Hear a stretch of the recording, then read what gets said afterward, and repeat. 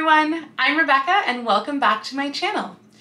I have had a lot of requests for a video on how to get started in historical costuming. I feel like it might be a kind of scary avenue for people who've never done it before to look at and be like, hey, I want to be able to do that too.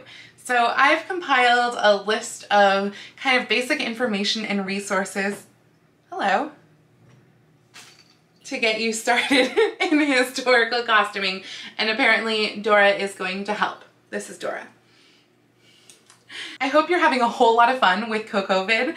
I know I am. There's so much content that's coming your way. So if you are watching this the weekend that it's coming out, uh, we are currently doing CoCovid, which is kind of a an online replacement for those of us who are missing out on costume college this year due to coronavirus. I know I've been super excited to fill that void because gosh, I love Costume College. I've been going since 2011 and it's just my annual event that I absolutely love. And so getting to watch everyone's videos is hopefully really, really fun. If you're watching this in the future, please go check out my playlist below where I have hopefully included every person's video. I think there's over hundred, so hope I didn't miss any.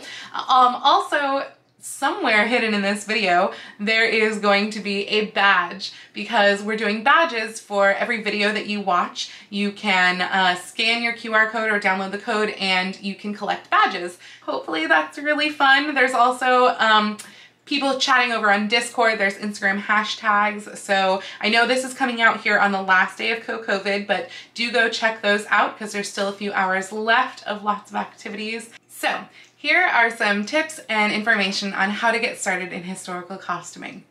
Now, I started my costuming journey quite some time ago, just as a little bit of background information for you. I started doing historical costuming specifically in uh, fall 2010, so it's been a little while, and I started doing it through Ren fairs. I had, I think in 2009, been to my first Ren Fair and it was really, really exciting. And I was like, whoa, this is cool. I'd already started sewing before then. I did theatrical costuming before then, but I didn't know that people like got dressed up in historical costumes and went to events and stuff like that. I'd never been to a Ren Fair before 2009 and knew very, very little about them. So it was really exciting to me when I first heard that people even did that, but I kind of assumed at the time that it was just Ren fairs. That's all that people did, right? So in 2010, after having been doing Ren fairs for about a year or two at that point, and by doing, I mean just attending Ren fairs in costume, I, A, I made my first like actual historical Ren fair outfit, as in not fair wear. Um, and so that was a doublet bodice out of velvet and cartridge pleated skirt. And I never did make the sleeves, ran out of time for my first fair to make the sleeves. But I also found out about Dickens Fair that around that same time in 2010 and decided that I was going to make a Victorian outfit to wear to the Dickens Fair in the San Francisco Bay Area. And that kind of started me down this researching wormhole of the fact that other people wore costumes at various other times. I know the first two people that I found out about were Catherine as in Koshka the Cat and Kendra as in Demode Couture and I it just snowballed from there at the time I found Live Journal and then costume college and everything and I attended my first costume college in 2011. So now that you know a little bit of background information about how I got started in historical costuming, I want to tell you how today you can get started in historical costuming because there's not been a better time out there than to get started now. There are so many resources available for people who are new to sewing into costuming and it's just amazing what you can find particularly on YouTube. There's a few key points that I want you to keep in mind. And the first one is as a historical costumer, do you want to make your own costumes or do you want to purchase your costumes? Now there's nothing wrong with either side. I would say that the majority of costumers that I know make their own costumes. And that way you can usually get better fit, you can make things more custom, there's a lot more creativity going on there just for you as a person, as a creative outlet. Um, and if that's your jam, then great. But if you're like, no, I just want to dress up pretty and go to parties or picnics or teas or whatever, then that is excellent as well. And there's plenty of ways out there for you to find costumes that are already made. So now primarily this video is going to be targeted to people who do want to sew their own costumes, but I did want to give a few resources for those of you who aren't interested in sewing your own costumes and would rather have them already done for you. So one good, really easily accessible entry point is going to be the Gentleman's Emporium, Historical Emporium, etc. website um, that is out there. I will link to all of these links, by the way, in the description below. But that is a pretty good source for if you are wanting to do really primarily Victorian costuming and you want just kind of your ready-made um, intro level type stuff. It's not necessarily going to be historically accurate, but it's going to be easy, easily accessible. So do check that out. Now, if you want to go in at a, a little bit of a higher price point and you want something that's going to be nicer, going to be made better, etc., there are lots of costumers out there who do make costumes for other people. I know one of my friends, Kristen, has the Black Orchid Atelier and um, on Etsy and she does lots of fantastic costumes. So again, I've linked her down below. Go check her out. She does costumes of all sorts of different eras and she'll be a really great resource for you.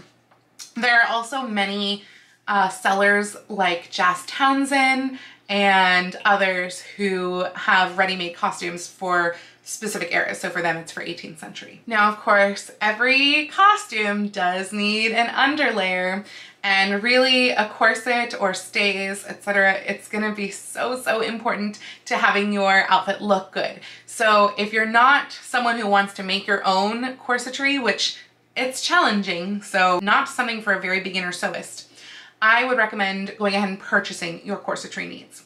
Now, if you're looking for just your absolute basic corsetry but still well made, still metal bones, etc.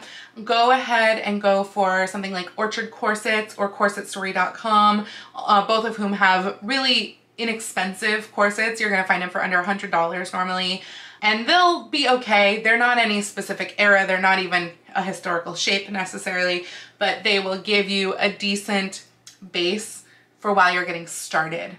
Now, of course, if you want to upgrade from that, highly, highly recommend Red Threaded for her corsets. Uh, in fact, if you've spent any time on YouTube or the internet at all, I'm sure you've probably heard of her. Her corsets are fantastic and um, they do come at a higher price point, that, but they're going to be significantly more historically accurate. She has specific styles for every sort of corset style that you might need. So definitely go check out Red Threaded. Now that we've gotten the ready-made costumes out of the way, the rest of this video is really going to be focused on people who want to sew their own costumes. So that's probably most of you is my guess. Now, I know that this then will separate you into two further groups. There are those of you who already know how to sew, which is fantastic, and you have a huge advantage over everyone else.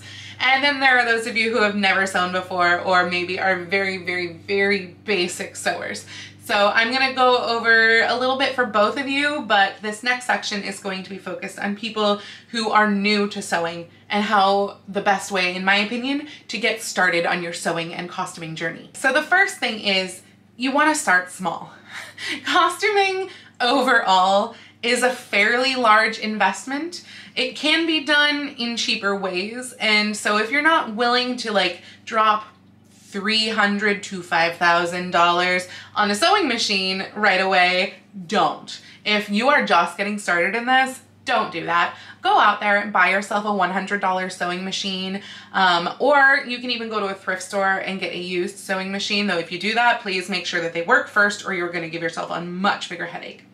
For those of you who want to go drop $100 on a new sewing machine, I recommend getting a Brother sewing machine, definitely over a Singer. They're just better made, and while it's still going to be plastic parts and stuff inside, and it's not going to last you nearly as long as a more expensive machine, uh, it's still gonna be a really good place to start and it will probably last you for at least the first couple years of your costuming journey. Once you have your machine, you wanna start with some basics. I would recommend kind of doing a sampler. So you're gonna want to make sure you practice your straight stitch, draw a line on a piece of fabric, make sure that you can sew on top of that line, and then do it again using the edge of your fabric as a guide. Make sure that you're keeping a straight line from the edge of your fabric.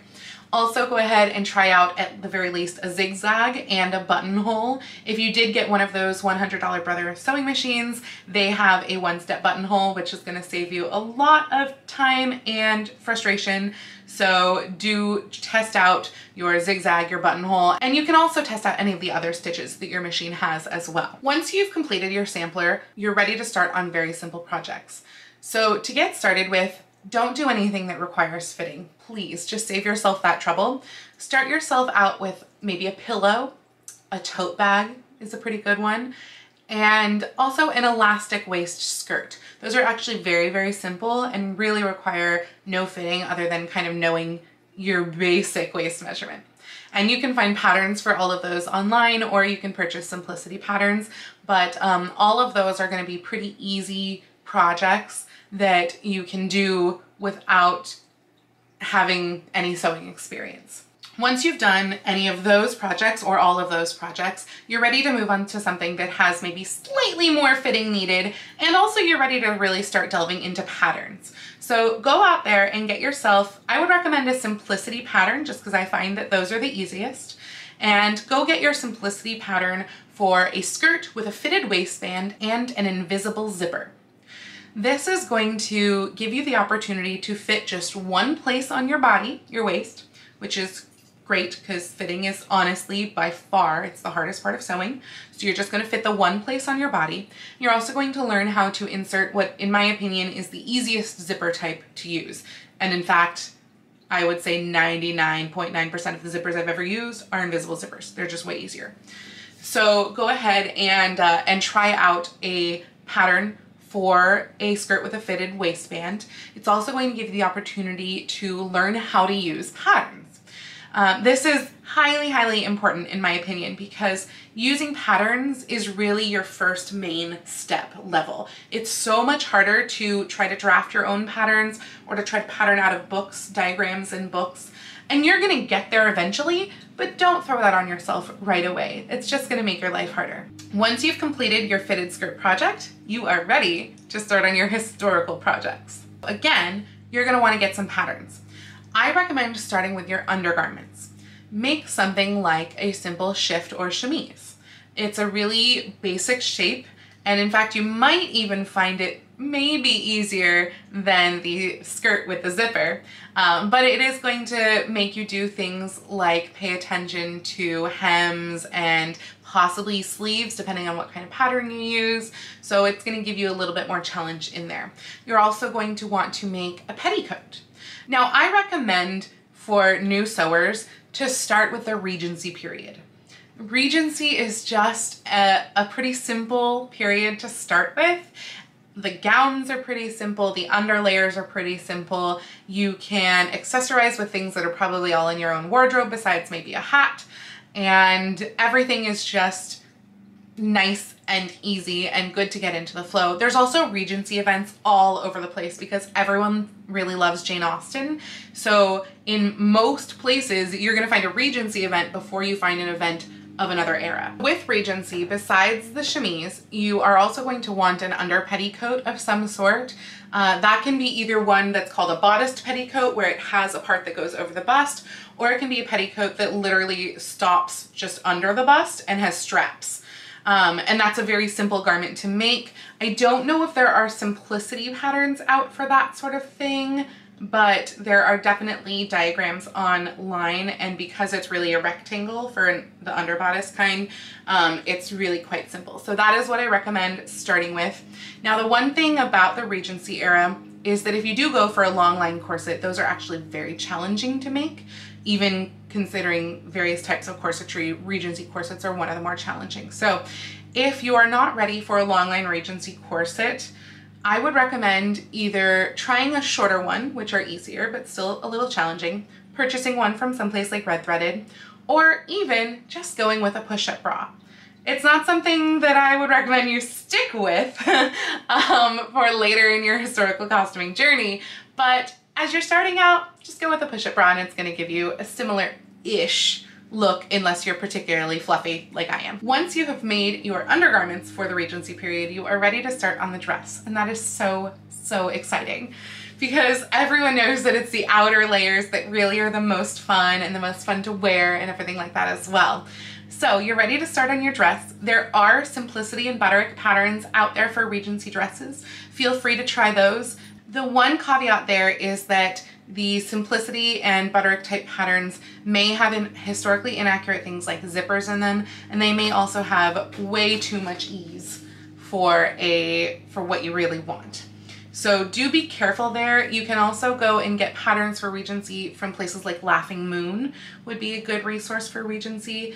So um, really it's it depends. Uh, if you go with like a laughing moon or if you're doing Victorian a, a, truly Victorian type pattern the instructions are going to generally assume that you know a little bit more about sewing but also the patterns are probably going to be better. So your mileage may vary but uh, definitely check out some different pattern resources. Again with like your skirt pattern start with simplicity but then you're ready to move on from simplicity and butterick to things like laughing moon or truly Victorian one of the other things that makes Regency a really great place to start with your journey is the fact that pretty much you can make everything out of cotton. Cotton, in my opinion, is the easiest fabric to work with. Get yourself kind of like a muslin weight cotton fabric, which you can get really easily from Joann's or your whatever your local fabric store is. It's pretty inexpensive. You can even go to the thrift store, get cotton bed sheets, and make your Regency wardrobe out of that. In fact, my second ever historical, wasn't very great, but you know, it's some place to start, project that I did way back in high school was actually a Regency dress from a, I believe, Butterick pattern, and I made that out of some old bed sheets and pillowcases that we had laying around the house. Again, great place to start. As you proceed in your costuming journey, you're going to find that those are really practice projects and you're going to get better and better with every project. So don't worry about going out there and spending a lot of money on your first project. Please don't go buy $20 a yard silk anything like that. Start with cotton, start with sheets, things that you have around the house. Make life easier and cheaper on yourself while you're still starting out on your journey. Once you have completed your Regency outfit, it's going to be, first off, so exciting. So I'm so thrilled for you just in advance that you're going to be completing your first full outfit of any era. Uh, but once you've completed your Regency outfit, if you do decide to go with Regency first, you're really ready to move on to any other era. Again, in my opinion, Regency is the simplest. So feel free at that point to go 18th century, Victorian, Tudor, the world is your oyster. You can choose anything you want. And again, the more that you practice, the easier it's going to be once you have patterns down, and by down I mean once you can kind of examine, yes, these are the shapes that it needs to be. Yes, these are the measurements that it will need to equal. You can really start using pattern diagrams in books too. If you've been on my channel at all before, you know that I love period costume for stage and screen. I think the diagrams in there are just fantastic, so highly recommend that. Janet Arnold also has some great diagrams, and anything that's on a gridded diagram like that, you can scale up to be human size and then you can learn once you've done some projects, you can learn where those shapes need to be altered to get to your specific size. And that's a whole other ball of wax video, so I'm not going deeper into that. But again, I would say start with patterns, learn what shapes look like, then go with gridded patterns. Just make your life easier. That's the whole idea getting into historical costuming and getting into sewing, it shouldn't be that much of a challenge because then you might not do it. And believe me, as a costumer who's been doing this for a while, we absolutely love baby costumers. So we want as many people in this hobby as there possibly can be because that means we're gonna have events with more and more people in them and it's gonna be more and more fun. So please don't feel daunted. That's the biggest thing is don't let your own fear stop you from getting into historical costuming, from getting into sewing, anything like that. Your first projects, they might be terrible and that's just how the world works. Everything needs practice. So please don't worry. No one is going to judge you. Again, we're going to be welcoming you with open arms saying, hey, baby costumer, come here. Let me, you know, show you the ways. Let's have a picnic. Let's have some tea. So please don't be afraid of anything like that. Don't let your fear or worries stop you. Just dive in and join us in historical costuming. Now, of course, that was all really for people who have never sewn before. If you have already sewn, then you are at a huge, huge advantage and you can really just kind of start wherever you like, especially if you already know how to use patterns, if you know how to fit in particular, because again, fitting is the hardest part. But if you know how to do that already, you can choose your favorite era, choose your favorite pattern like a truly Victorian or a Laughing Moon pattern, and dive right in to making whatever garment you like. Just remember that everyone starts somewhere again, I mean, when I look at my projects from my early years of sewing, some of which I still have and a few of which I still wear, I still cringe. um, in particular, I've got a Hogwarts robe that was one of my very first projects that again, I still have and I still wear. And I look at that thing and go, what was I thinking?